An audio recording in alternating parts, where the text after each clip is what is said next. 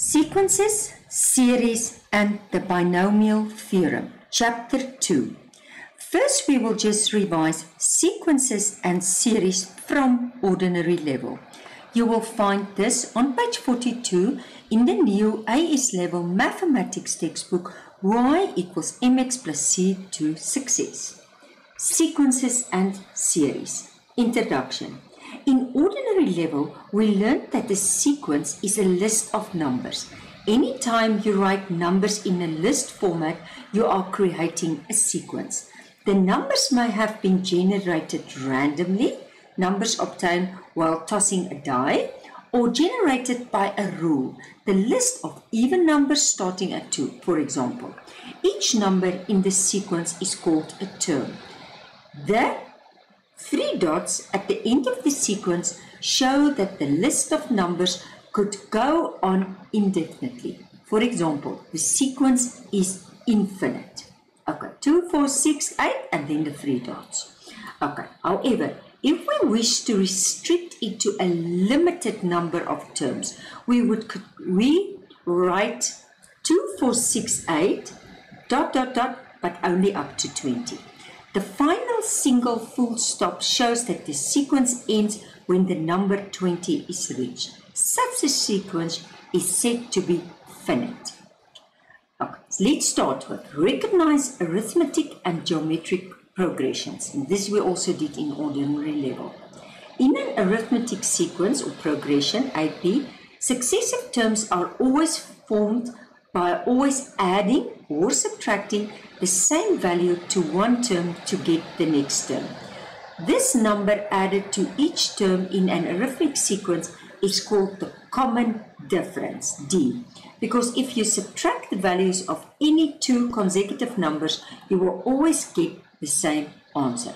So for example, if you look here, um, 2, 5, 8. 5 minus 2 is 3. 8 minus 5 is 3. 11 minus 8 is 3. Or negative 1 minus negative 3 is negative 4. Negative 5 minus minus negative 1 is negative 4. Or, or they are both APs. Since 3 and negative 4 respectively are added in each case. Note, adding negative 4 is the same as subtracting positive 4. It's meaning the same thing. So AP, D, how do you get D, the common difference? You take the any term and you subtract the previous, the one in front of it. Okay, so you take the front one and you subtract the back one. Let's rather say it like that. So T3 minus T2 or T2 minus T1. In a geometric sequence or progression, successive terms are formed by multiplying or dividing one term by the same value to get the next term. This number by which each term in a geometrical sequence is multiplied is called the common ratio. So this is now GP.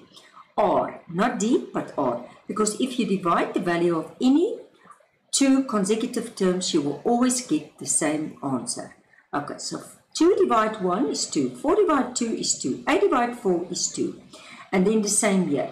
If you do this one, you will every time get a third. Okay, 27 divide 81, or 9 divide 27, or 3 divide 9 are geometric since you multiply and divide by 2 and 3 respectively in each case. Now dividing by 3 is the same as multiplying by a third. Let's move on. Okay. Line. Now, in a GP or so any term divide by the previous term. So n divide n minus 1 or 3 divide 2, 2 divide 1. So this is just subtraction, this is just division, but we did it in ordinary level. Let's look at the basic, basic example. And this is usually where you start. If you just see a sequence, you will first determine if it's an AP or a GP. So determine whether the following sequence are arithmetic or geometric and find the common difference or the common ratio. So in this case, we are just going to do the test. So you can first just subtract and see if you get every time 9. If you divide, you will see it's not working. It's not giving you a common ratio. The same here. If you divide, you divide, you divide, and so if you look there, you divide, you get 0 0.2, 0 0.2. So this will be a GP. Okay, I want you to stop the video and I want you to do, oh, it's just very basic.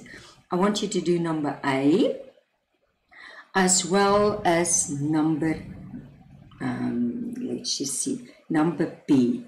You can continue the video as soon as you are finished. Let's look at number A. Now, if you just look at it, you can say 6 minus 4, that's 2. 9 minus, it's 3, so it's definitely not an AP.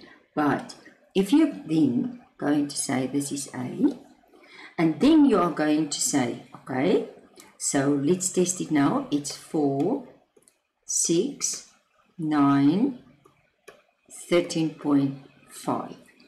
So this is T1, T2, T3, T4. So if I'm saying, and it's going to so T2, let's just do T2 divide T1 equals T3 divide T2. So that will, if I do, so that's 6 divided 4 is equal to 9 divided 6 because um, 2 can go in 3, can go in 2, 3 can go in 3, can go in 2. So therefore, it is a GP. Okay, then if you look at number B, and you can always do it both, I like first to write down the sequence.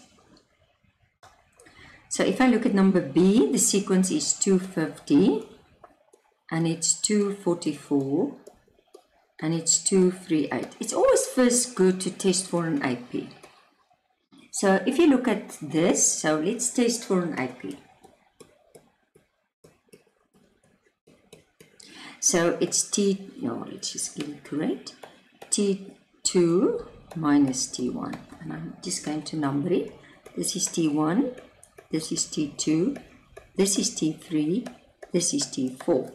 So, um, is equal to T3 minus T2.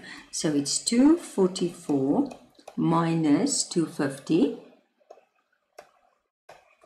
is equal to 238 minus 244.